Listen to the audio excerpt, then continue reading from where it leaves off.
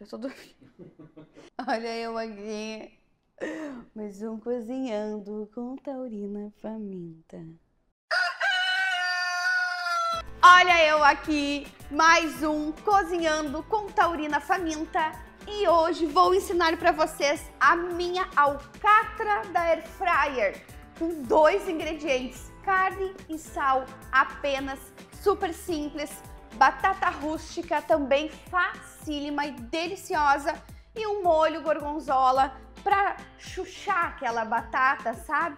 E jogar por cima dessa alcatra maravilhosa. Então, roda a vinheta e lá vamos nós. Uh!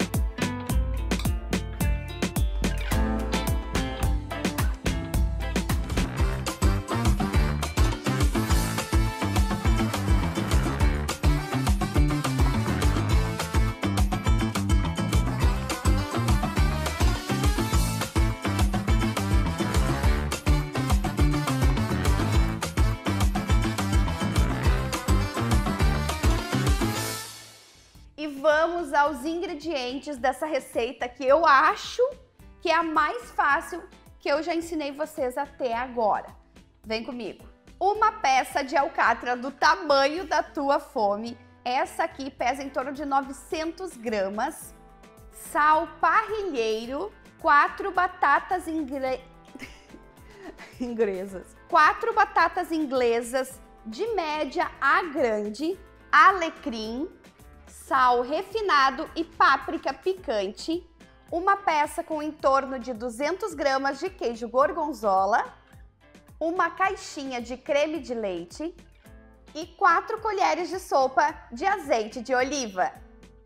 Feito carreto, bora apertar os cintos e iniciar esse prato que, gente, de verdade, se tu gosta de um churrasco, não manja do Paranauê, de assar na churrasqueira, ou então não quer fazer fogo, toda aquela função, bota essa alcatra na air fryer e vai. Sério, isso aqui fica simplesmente fenomenal. Vou dar manha para vocês aqui para deixar ela cor de rosa por dentro, no ponto perfeito de churrasco. Peguei uma peça de 900 gramas e a dica é que ela seja grossinha. Como é que eu compro? Eu chego lá no açougue do armazém, lá pertinho da minha casa, e falo para o açougueiro, me vê aquela alcatra mais ou menos assim. Esse é o meu pedido. A espessura eu peço com os dedos, porque eu também não sei quanto vai pesar a peça. Então o importante é que ela seja meio alta, entendeu? Olha só. Aqui atrás ela é fininha, mas na frente ela é bem alta. E gosto que tem uma gordurinha, né, gente? Na minha opinião, dá muito sabor e eu adoro demais. O que, que a gente vai fazer? Primeira coisa, vamos salgar essa carne.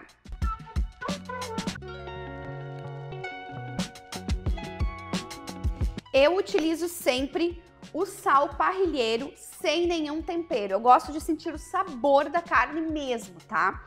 Então nós vamos encher de sal, colocar ao, todo ao redor dela. Algumas pessoas falam que o sal parrilheiro deve ser colocado somente no final, depois na hora de servir a carne, quando ela já estiver assada. Mas cada um toma conta da sua vida, né, gente? Eu gosto de fazer assim, dá super certo e fica maravilhoso. Ai, que delícia! Vamos deixar essa carne descansando uns minutos enquanto a gente inicia o processo da batata rústica e depois a gente já leva ela para air fryer. Imagens, imagens, eu quero imagens. Vamos preparar então a nossa batata rústica e a meu gosto, bem pessoal, eu prefiro a batata branca. Eu não gosto muito da rosa, tá? Mas é uma questão bem de gosto. O que, que nós vamos fazer? Levamos para água corrente, lavei bem, esfreguei bem essa batata, pois nós vamos utilizar ela com casca. Pica aqui, ó. Uma vez. Outra vez. E mais uma vez. Eu acho que eu sou branca e roxa. Nós vamos cortar essa batata em quatro partes. E depois vamos fazer os, os palitos, que não são tão palitos assim, tá? Olha só. A partir daqui, bem grossinha, uma espessura não muito fina, porque a gente quer que ela fique carnuda, gostosa por dentro. Olha só. É isso. Então, vamos fazer isso com as quatro batatas. Gente, não precisa medir tamanho, tá?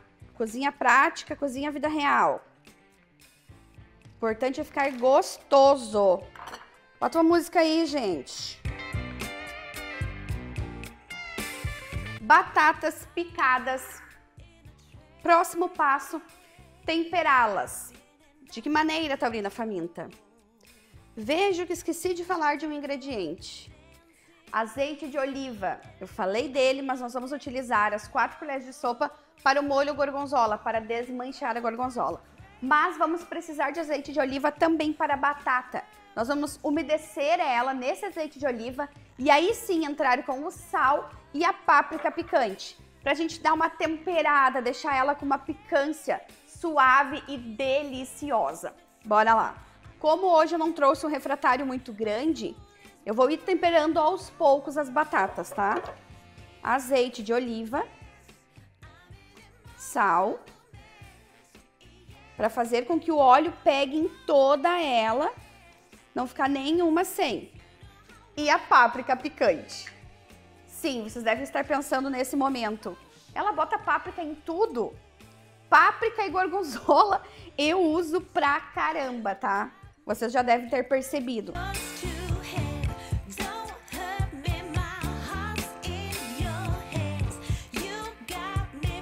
Agora nós vamos levar essa batata para o micro-ondas por 5 minutos. Na metade do tempo a gente para, dá uma movimentada nela, uma mexidinha e volta para o micro-ondas. Eu vou fazer por partes aqui, tá? Porque eu não tenho um recipiente muito grande aqui nos estúdios da Vale para colocar elas de uma só vez. Então vou colocando aos poucos. Vamos pré-aquecer a air fryer a 180 graus. Essa temperatura de 180 graus nós vamos colocar agora para pré-aquecer, para ficar bem quentinha para receber a nossa alcatra. Depois vamos reduzir um pouco a temperatura, porque nós não queremos tostar ela por fora e deixar cru por dentro. Nós queremos que ela asse calmamente para ficar no ponto que nós buscamos, tá? As batatas rústicas, já coloquei no micro-ondas por 5 minutos, elas ficam cozidas, tá, gente? Em 5 minutos é suficiente para ficar cozida a batata nessa espessura que a gente fez. Depois de 5 minutos que a carne estiver na air fryer, nós vamos levar essa batata também para air fryer com alecrim, para ela dar aquela tostadinha e se transformar numa verdadeira batata rústica que vai ficar muito gostosa, vocês vão ver. Última leva de batatas já saíram no micro-ondas. Eu falo última leva porque eu fiz por partes, né, gente? Agora, com a air fryer já pré-aquecida, vamos levar a nossa alcatra para assar. Primeira coisa que nós vamos fazer é reduzir a temperatura para 160 graus e levar a alcatra para air fryer. Se a tua tiver uma gordurinha assim como a minha, a gordura vai ficar para cima, tá, gente? Eu vou colocar ela lá no fundo da minha air fryer.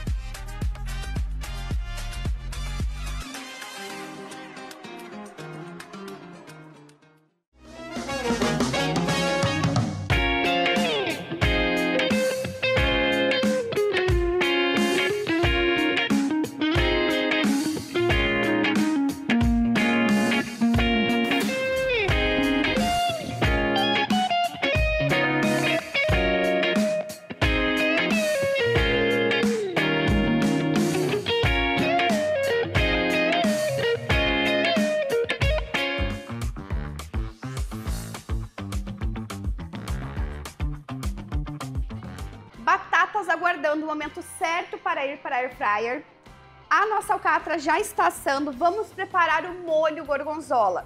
E agora é aquela hora que tu vai dizer assim, meu Deus, Taurina Faminta, mas que tanta gorgonzola. Creio que até hoje todas as receitas, ou praticamente todas que eu fiz, levaram essa maravilha aqui. Sim, gente, eu amo queijo gorgonzola. De verdade, sou alucinada por ele, como ele de diversas formas. E esse molho aqui, ele é muito versátil para comer com frango, com peixe, para uma massa, fazer uma massa, uma espaguete, cozinha ela ali na água e joga esse molho em cima, uma carne, um filé. Gente, perfeito de verdade. Primeiro passo, vamos cortar o triângulo de gorgonzola em pedacinhos. Vou picar em fatias, depois em tirinhas e em cubinhos.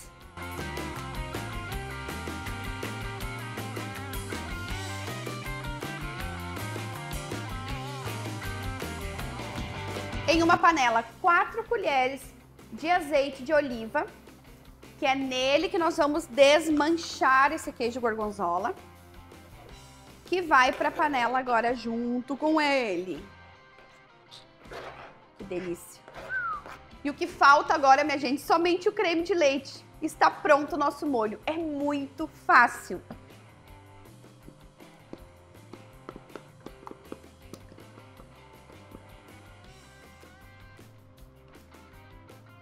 Agora é só mexer e incorporar o creme de leite no queijo gorgonzola. Molho prontíssimo, com uma textura maravilhosa e muito sabor molho gorgonzola descansando, alcatra em torno de 5, 7 minutos na air fryer.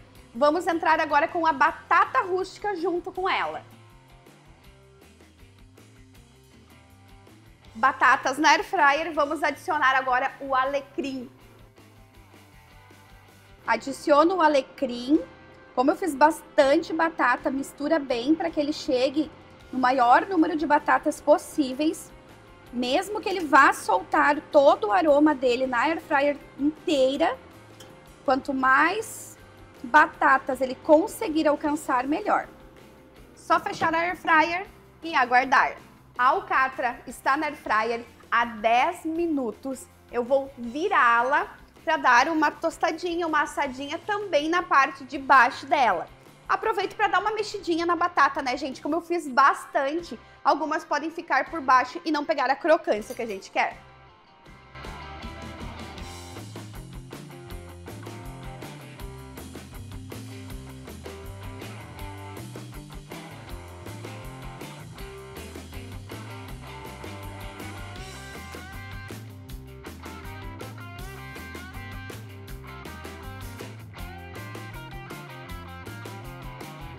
a nossa alcatra está pronta.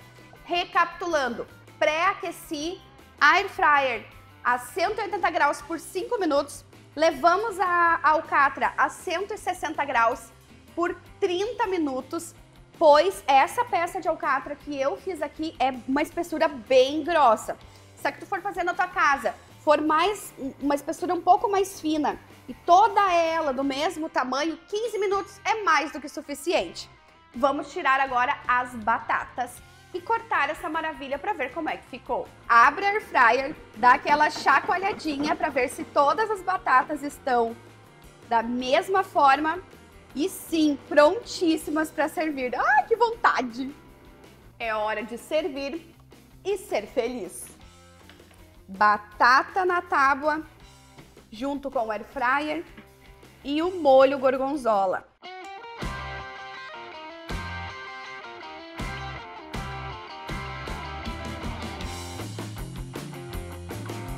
Bora para o momento que, como sempre, é o mais esperado por mim, né, gente? Vamos cortar essa alcatra maravilhosa e mostrar para vocês como é que ela está por dentro. Exatamente no ponto que eu gosto.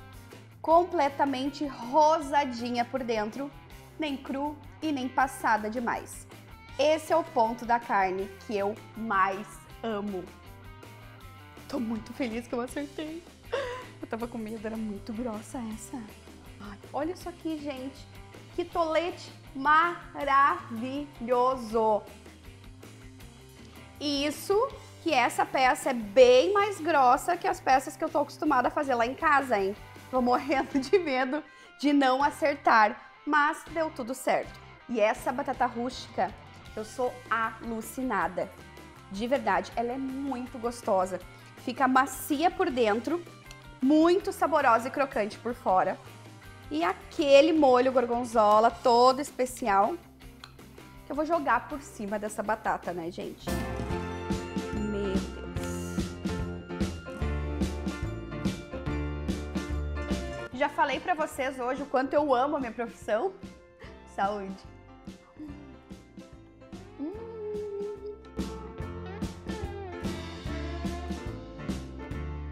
Maravilhosa.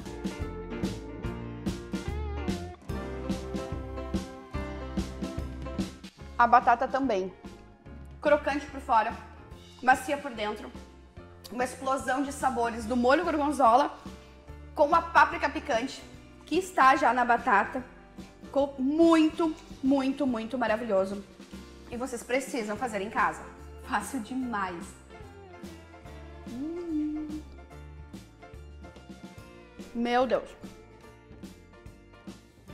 Não vou sair daqui. Vou ficar comendo. Hum. Claro que tá muito bom. Preciso encerrar, né, Fê? Tem que falar, né? Já vou, Fê. Já. Pausa nesse momento tão perfeito pra mim Quero convidá-los a fazer essa receita, tenho certeza que vocês vão gostar demais. Quero agradecer aos meus apoiadores, patrocinadores, é graças a vocês que esse projeto aqui está acontecendo. Tenho um carinho enorme por todos vocês. Cansei. Mais uma vez, espero de verdade que vocês provem, que façam essa receita, ela é muito saborosa. E agora eu fico por aqui degustando, curtindo, na verdade caindo pesado nessa delícia. Beijo grande para todos vocês. Hum, eu vou comer, eu vou comer, eu vou comer.